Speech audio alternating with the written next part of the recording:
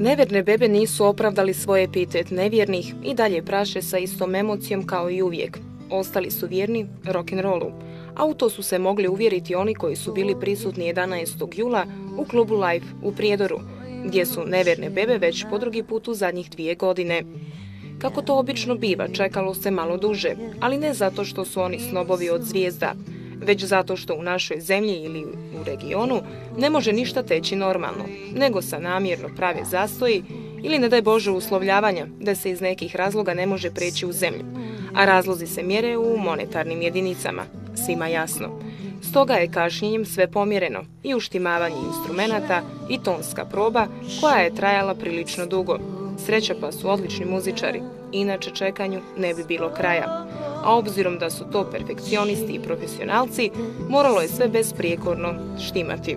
Tako se sve dešavalo pred ljudima koji su tu već od 8 sati, a svirka je počela u 10 i 30.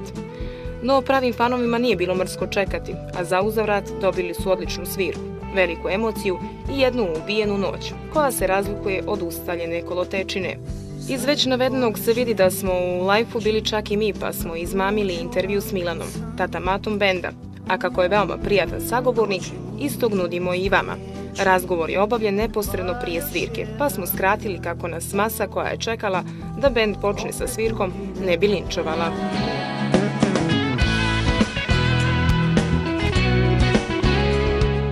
Pa, iskreno ti kažem, naravno da čovjek ima neku ideju i ja sam pre recimo 15-16 godina kad sam radio to Frankie, taj period, to je 92.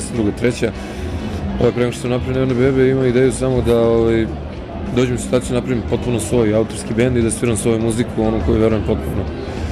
Jer e, mi smo negde posvećeni svemu tome. Posvećeni smo na način što nam je Bog dao talent, mi sad treba da taj talent podelimo sa ljudima na jedan pravi način, bez manipulacije, bez želje da eksperimentišemo s tim stvarima, znaš da zarad toga da bi bili popularni, ne znam, ili da bi zaradili puno para ili ne znam, zbog ovoga ili onoga, sad sviramo neku muziku koju ne volimo. Jednostavno, ovih 14 godina koliko Neverne Bebe postoje, sviramo iz srca, sviramo muziku iz zadovoljstva. E, vremenom publika dolazi do, do, do naših pesama, do naše muzike, do tih emocija pre svega, iz prostog razloga što ja govorim iskreno o svom životu, znaš, mislim, i jednostavno ja u svojim pesmama ne foliram i, i, i svako može se pronađe. To su naše životne priče. Znači, nema ulepšavanja stvarnosti, nema rimovanja, nema ono sad kao čekam reč, uopšte me to ne interesuje. Ja pričam priče koje su stvarne, koje se dešavaju i koje su takve kakve su, neke su lepe, neke nisu, nekad zaboli, nekad je potpuno neka pozitivna priča, ali e, jednostavno 14 godina pokušavamo da budemo potpuno iskreni prema sebi. Yeah.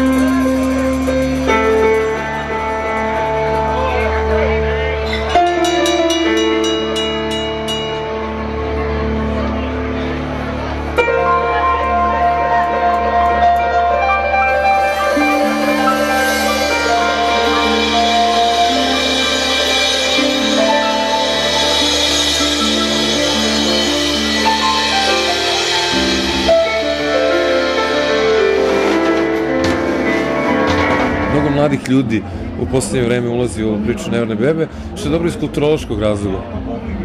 Dobro je da mladi ljudi formiraju uh, uh, svoj neki sistem i kriterijum vrednosti uz uh, određenu vrstu kulture koja nije kič, koja nema tu neku želju da uh, po svaku cenu podilazi, znaš da mislim, uh, jednog dana će uh, da se pokaže šta je bila suštinska vrednost svega ovoga.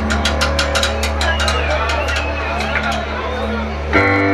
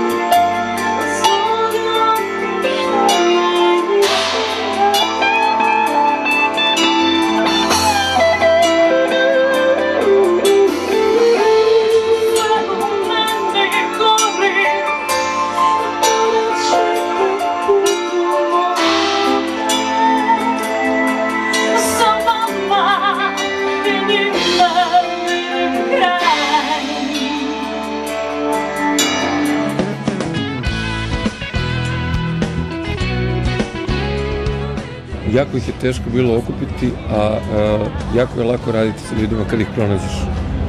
Zato što mi znamo šta delimo. Znaš, mislim, mi kad delimo muziku, nama je to veći od svakog novca i ima veću cenu. Taj bis koji će se desiti večeras, koji se desio sinoć, koji će se desiti sutra, to, to nema cenu. Znaš, to toliko ko što je hrana za dušu. Mi hranimo svoju dušu. Znaš, ja kad legnem spavam, ja sam srećan čovjek. Jer e, znam da sam sa ljudima podelio nešto što je prelepo. Ne, neka dimenzija koja ne može rečima se opiše. Muzika je pametnija od nas. I činjenica da, da ako mi pokušamo da definišemo muziku, samo ćemo da odemo na neku stramputicu. Jer ne bi ti ljudi svi došli, znaš, mislim, i na taj način doživjeli sve to, da to nema stvarno neku ogromnu, ogromnu snagu i ogromnu hemiju.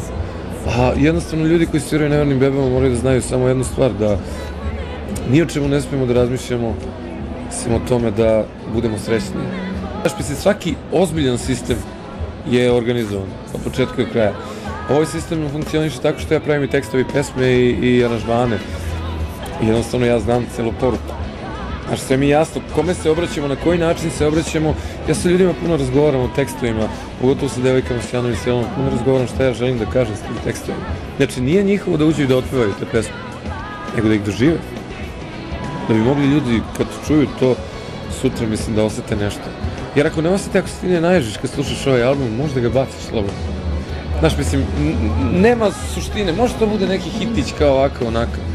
Ali ako ti se ne pojavi negde u duši neka suza, i ako, znaš, ne vidiš sebe u nekoj situaciji životnog, i ako ne vidiš nekog pored sebe koga voliš ili koga si volela, jednostavno, to ne postoji.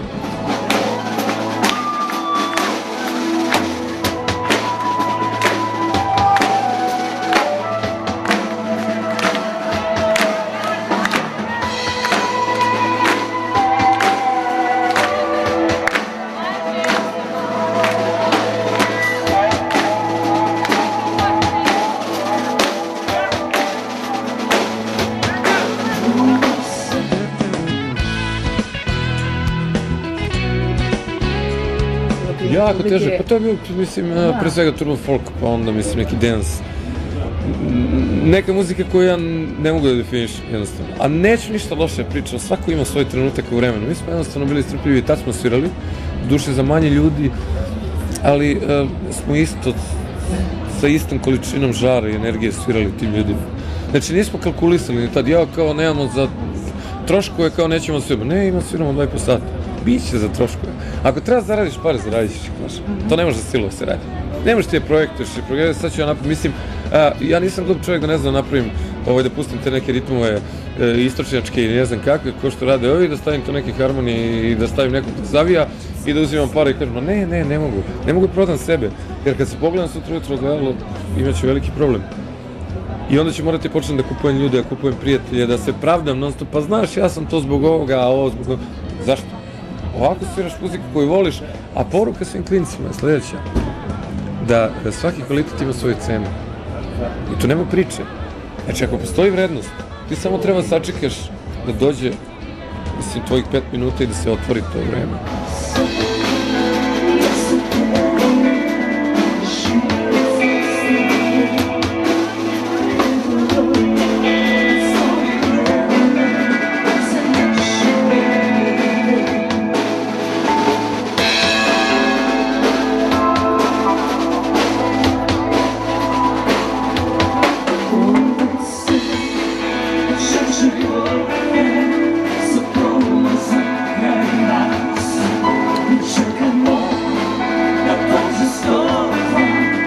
Periodu kad mi nismo zarađivali neki novac i kad nismo svirali pred ovolikim brojem ljudi, mi smo bili jako srećni, jako zadovoljni, jer imali smo puno ideala.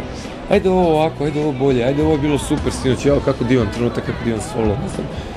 Znači, imaš hranu koja ti je bitna, a ovo drugo je mnogo manje bitno materijalno. Ali e, i ona dođe ako je e, ne tražiš na silu. Znaš, mislim, ako hoćeš sa silu, to je onda problem. Onda si prevario i sebe i druge i onda ne vrediš. Jedina tvoja vrednost je u iskrenosti i u identitetu.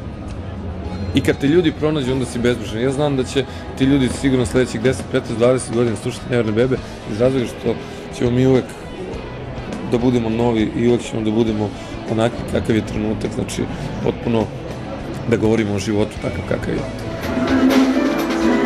A vi?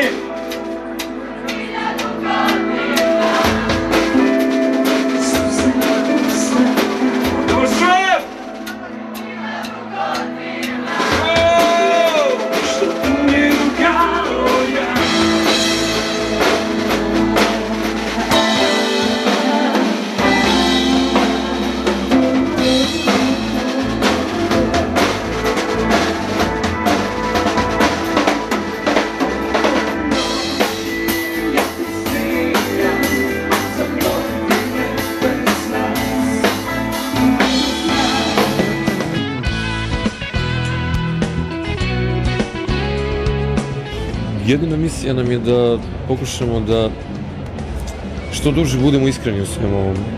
A ako smo iskreni, onda ćemo preneti mladim ljudima poruku e, te neke duhovnosti koja je vrlo bitna i e, poruku koja je za mene najbitnija, a to je nekakve kulturne vrednosti moraju da se podignu na više nivo. Znači moramo podignemo sistem estetike, e, e, kulture. Ne smemo više da budemo primitivni, ne smemo da dozvolimo da razni ljudi manipulišu nama, jer mi imamo puno, puno duše. Samo treba da otvorimo tu dušu. Samo pokušavaju da uzmu dušu zarad toga što će da nam ubaci svoj materijalni svet i materijalni sistem vrednosti i da se pobijamo zbog toga ko ima više para, ko ima manje para. Treba da tražimo dušu u sebi. Jer duša je privilegija. Mnogi je nemaju, pa moraju da je kupuju. A mi imamo i naš, mi je nesvesno odbacujemo. I misija jeste u tome da putem ove muzike koja treba da probudi emocije pokušamo ljudima pokažemo da eto mislim je lep život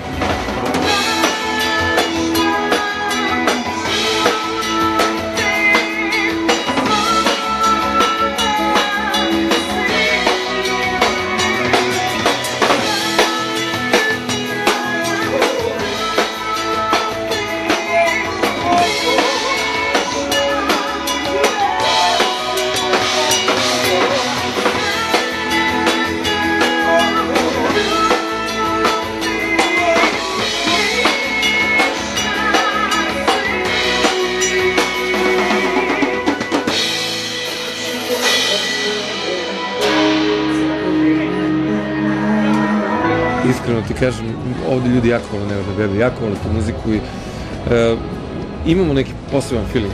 Pronašli smo se negde i, i trudit ćemo se da to što traje što duže. Neverne bebe su izabrali teži put. Jedan su od rijetkih bendova koji vole i rade žive svirke.